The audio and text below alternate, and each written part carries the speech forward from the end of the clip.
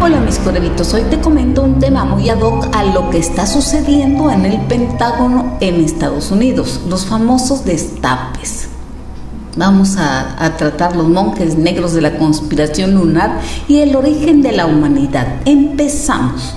En su libro Letter from Andrómeda, el contactado Alex Collier detalla las conversaciones que tuvo con seres extraterrestres telepáticos de la galaxia de Andrómeda. Uno de ellos se llama Morani y se originó a partir de un sistema estelar en una constelación que llamó Sinati. Los contactados son personas que afirman haber experimentado contacto con extraterrestres. Algunos afirmaron tener encuentros en curso mientras que otros afirmaron haber tenido tan solo un encuentro. Los relatos de los contactados son generalmente diferentes de los que alegan la abducción extraterrestre, ya que mientras los contactados generalmente describen experiencias positivas que involucran a extraterrestres humanoides, los abducidos rara vez describen una experiencia de manera positiva. Pero permítame te cuento un poco de contexto de Alice Collier, por si no has oído hablar de él. Alex Collier manifiesta ser un contactado con una raza de extraterrestres humanos que pertenecen a la constelación de Andrómeda. La primera vez que comenzó a experimentar el contacto extraterrestre fue a los 8 años de edad, durante su infancia. Después de las experiencias se detuvieron durante un periodo de varios años, que incluía el tiempo en el servicio militar como piloto de helicóptero en el ejército de los Estados Unidos las experiencias de contacto se reanudaron en 1988. Se reunió con dos andromedanos, Visiu y Morani, que se convirtieron en sus mentores y lo llevaron a bordo de una nave nodriza extraterrestre donde fue expuesto a las enseñanzas y filosofías de los andromedanos. Los andromedanos le dieron información acerca de la espiritualidad cósmica y la vida del universo en la historia galáctica de la Tierra. Morani, un ser antiguo, pudo transmitir información valiosa a Collier y pintó un cuadro muy diferente a lo que la historia nos enseña sobre el pasado de la Tierra. El Andrómeda también reveló que nuestro presente está gobernado por mentiras y engaños y que la población en general sabe poco o nada sobre lo que realmente está sucediendo en nuestro sistema solar.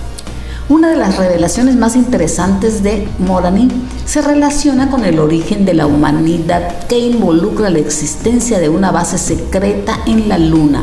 También mencionó que el satélite de la Tierra no se formó inicialmente en el sistema solar, sino que fue transportado aquí hace varios años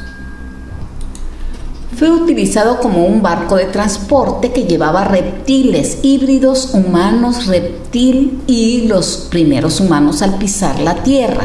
La luna, como Morani le dijo telepáticamente a Collier, se originó en un sistema estelar ubicado hace 432 años luz de la Tierra, en la constelación de la Osa Menor, llamado Chouta por los andromedanos. Este sistema estelar binario es enorme con 21 planetas y cuatro docenas de lunas. La luna que ahora llamamos nuestra orbitó una vez en el decimoséptimo planeta del sistema Chouta. Se llamaba Maldik y fue destruido en una antigua guerra entre una alianza humana y extraterrestre grises tiránicos del imperio de Orión. Los andromedanos le revelaron a Collier que la Luna tiene 6.200 millones de años. Esto significa que es más antiguo que nuestro sistema solar y no podría haber comenzado su existencia aquí. Las teorías de conspiración mencionan regularmente la presencia de compuestos y químicos desconocidos en la superficie lunar y que su descubrimiento fue ocultado al público. Las transmisiones telepáticas de Morani han llevado a Collier a creer lo mismo. Me pregunto, pero si la luna es una forastera, ¿cómo la trajeron aquí?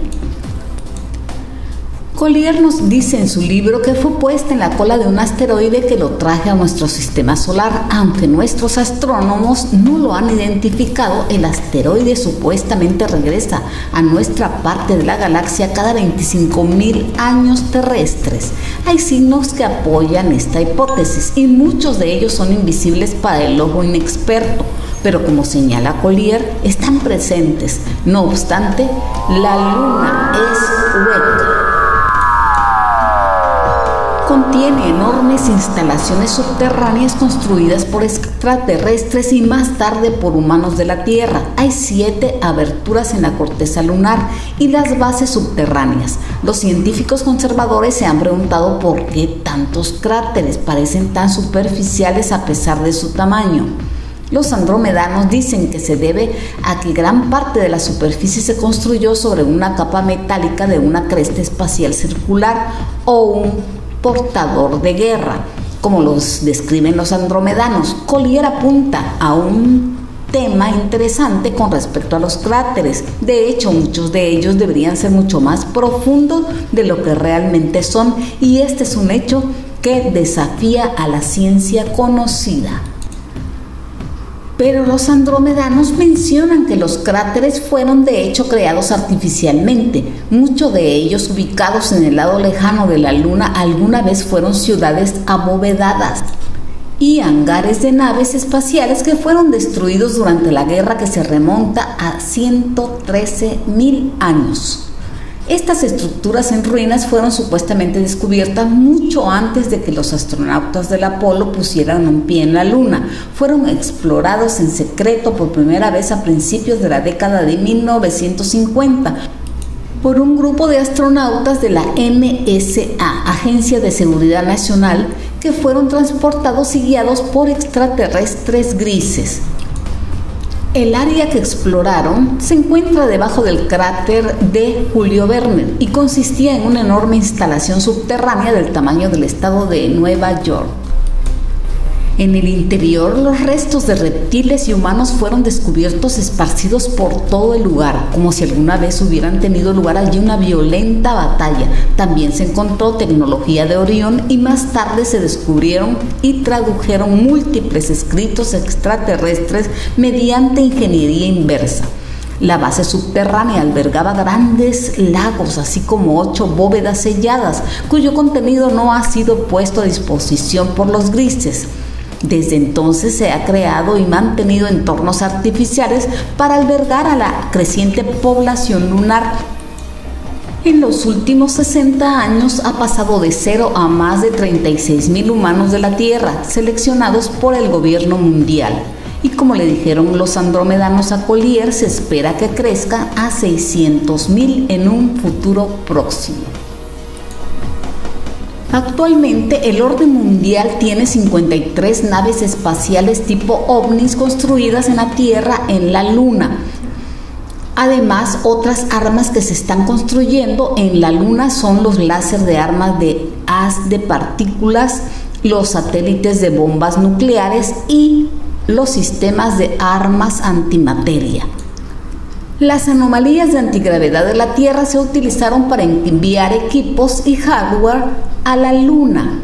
Pine Grab, Australia y la isla Diego García en el Océano Índico fueron las principales áreas de lanzamiento. Además, Siberia en Rusia es otro lugar. Operaciones tan complejas en la Luna requieren una jerarquía igualmente compleja. Los líderes y los que tienen la última palabra son los grises, pero rara vez intervienen ellos mismos. Comunican principalmente su voluntad a través de un grupo llamado Blackmon. Aunque originalmente humanos, los Blackmon han sido ampliamente modificados para satisfacer las necesidades de Grey y ya no se les considera humanos de la Tierra. Directamente debajo de los Black Moon hay un grupo llamado Blue Moon. Está formado por fuerzas estadounidenses, británicas, rusas y francesas. Estos grupos operan y controlan las bases lunares, pero también necesitan divisiones en la Tierra. Hay dos organizaciones de este tipo. Alpha One, Alpha Two. Collier no estaba seguro acerca de Alpha One, pero creía que tenía que ver con recolectar materiales y recursos en la tierra y mantener a la población desprevenida. El andromedano Morani le dijo a Collier que Alpha 2 es en realidad MJ-12, la infame organización encargada de recuperar e investigar naves alienígenas. Si esto es cierto, la organización que creemos que está a cargo de tales proyectos encubiertos está en realidad en la parte inferior de la escalera y dicha escalera corre mucho más alto de lo que pensábamos anteriormente. Hasta el día de hoy, las afirmaciones de Collier aún no se han probado, pero desestimarlas es igualmente difícil. El lado lejano de la luna está oculto para siempre a la vista e incluso si se ubican varias bases alienígenas ahí, no podríamos notarlas pero Alex Collier es inflexible sobre su revelación y la información que recibió de los andromedanos. Cuando los astronautas del Apolo aterrizaron en la Luna, el orden mundial había estado ahí por algún tiempo. Este conocimiento y tecnología se ocultó a los niveles inferiores de la NASA y nuestro ejército. La NASA se ha utilizado como un ciego para evitar que la gente sepa realmente lo que está sucediendo ahí. Los astronautas fueron silenciados bajo amenaza y siguen siéndolo hasta el día de hoy. ¿Ustedes qué creen, mis cuervitos? ¿Seguimos siendo manipulados?